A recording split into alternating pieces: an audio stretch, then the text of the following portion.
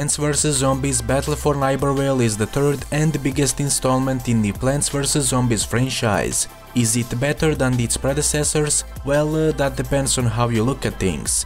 In terms of performance though, it is a tad bit more demanding, meaning that if you were able to run the previous two entries and would like to jump into Plants vs Zombies Battle for Neighborville, you might not be happy with how the game runs on your system. So is there anything that we can do to get these FPS numbers up? Yup, this is not a typical benchmark video that will show you what it's like to play the game on certain hardware, this is a video that will show you what it's like to improve the performance of the game on certain hardware. Before we proceed with the optimization process, uh, you will need to download and install the Low Specs Experience. The download link can be found in the description of this video.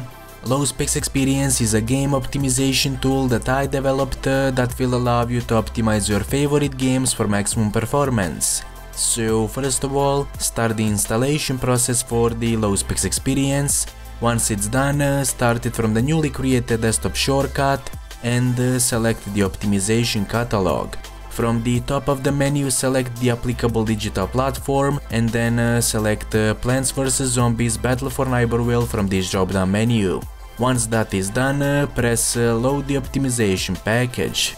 Now, uh, if the low specs experience does not automatically verify the installation location, simply select the location where your game is installed, press OK and the optimization control panel will load.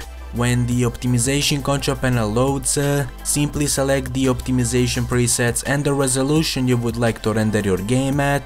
This is something you will need to experiment on your own in order to see what works for the system the best once you decide which optimization presets and resolution you are going to use, press the execute optimization button and then uh, start your game. Also, if you are not satisfied with what you see, you can always restore your game to default settings by choosing the restore default option. That's all from me for now, if you like what I do, please be sure to like the video and subscribe for more similar content. Anyway, I will see you all next time.